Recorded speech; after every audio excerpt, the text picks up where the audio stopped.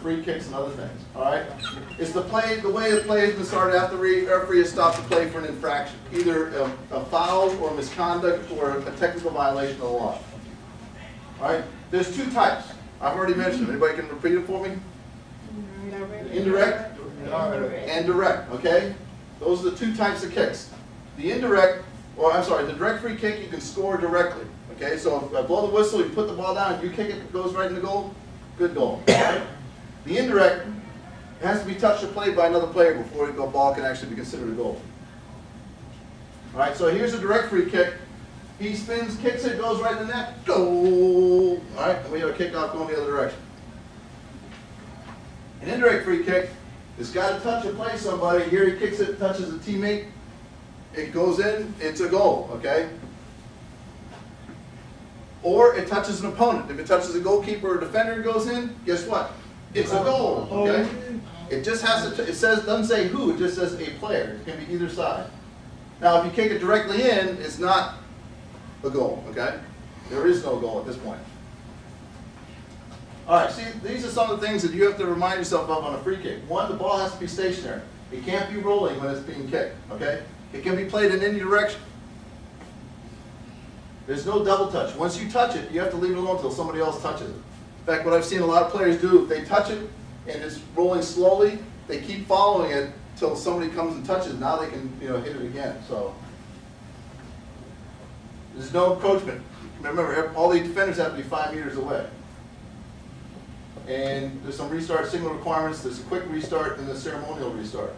Uh, if it's a quick restart, I blow the whistle for the foul, I put the ball down, and you go ahead and whack the ball into play, go ahead and do that. That's what they call a quick restart. You want to get the play going. The French do that a lot. All right, they don't wait for the defenders to set up. They get the ball into play so quick, the defenders still going, whoa, what happened?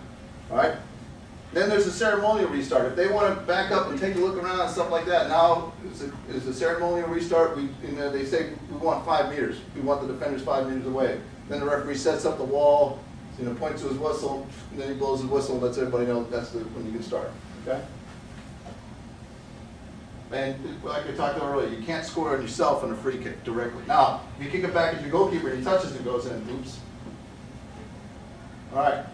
Now, if it's, if it's a free kick given to the defensive team in their goal area, just like a goal kick, you can put it anywhere in the goal area for them to kick because they got to go all the way down court in order to score. So it's no big deal. If the infraction takes place here and I put the ball here, it's no big deal. Okay, it can be taken anywhere. But all opponents have to be outside the goal area, I should say goal area down here, and the ball has to clear the goal area before it can be considered to be in play. Okay, so if he kicks it here it's rolling here, nobody can touch it until it leaves the area. Okay. Um, if it's given, if a free kick is given to the attacking team, indirect free kick, here's the spot of the infraction here. The attacking team is going right this way to the goal. It's not fair to have it that close to the goal. So you bring it out like the set ball to an area on top of the goal area, and that's where the indirect free kick is given to. Okay? Now, if it's a direct free kick, it ends up being a penalty kick. And we'll talk about penalty kick in a separate law. All right.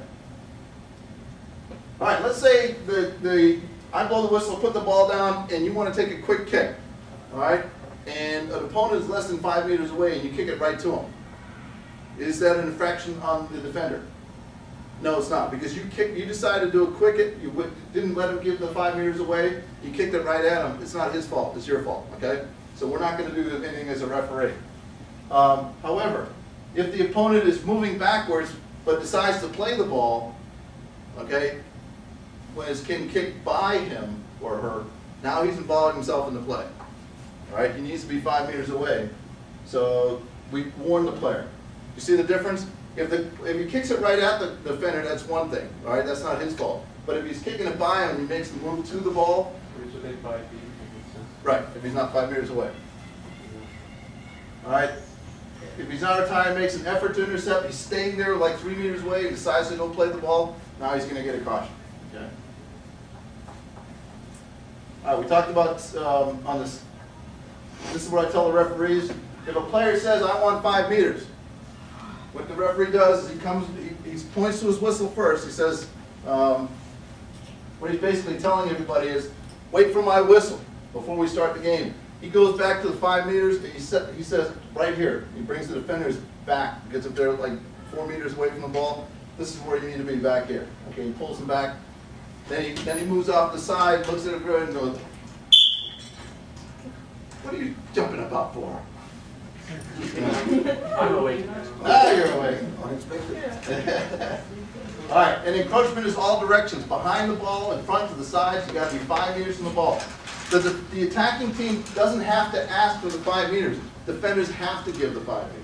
Okay, that's a big thing, people always say, well, they didn't ask for five meters, doesn't matter, you're supposed to give it five right away. Okay, and it could be a cautionable offense if you're, if you're too close. All right, now there is an exception to that. There's always an exception, right? So let's say here's the spot of the free kick. If there's five meters from the ball, look at that. And play, this player would be five meters away, he'd be over here, there's a free open goal right there. That's not fair. So the exception for the five meter, you can be closer than five meters to the ball if you're on the goal line between the goalposts. All right? Does that make sense? Question? Is that defender the goalkeeper? Doesn't matter. Defender or, it just says defender, which is a player, a, a field player or a goalkeeper. All right? So either one of those, as long as they're on the goal line between the goalposts. Now, um, all right, in this situation here, you've got a defender and two defenders. You got the goalkeeper and one of his defensive players on the goal line between the goalposts. That's still legal. This guy here is not legal because he's, he's a defender, but he's within five meters of the ball. He needs to be back. Okay? Is that legal defensive position? You know what I mean? Yes. Yeah, it is now. Yeah, as long as they have one wheel on the line, they're okay, and we'll talk about it What here. about the one, It is now. what about the one on the other corner? Okay, see, they have to have at least one wheel on the line. So this guy is legal because he's got one wheel on the line. This guy's legal because he's got one wheel on the line, but he is not, because he's completely off the line. Okay?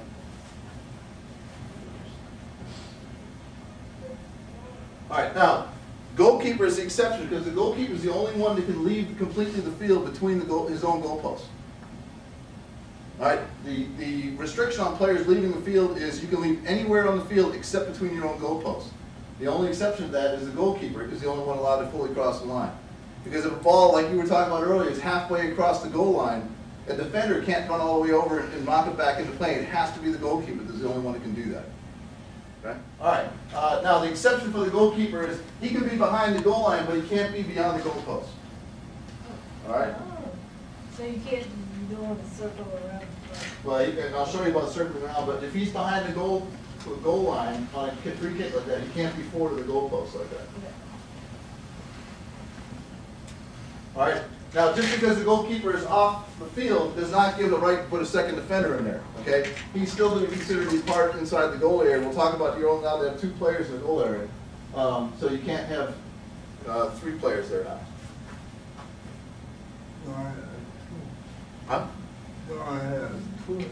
As long as two, right? So now here's another picture showing goalkeeper behind the goal line, the defensive player one wheel on the line. This guy is outside the five meter area, this guy is not, okay? That's just what that's illustrating.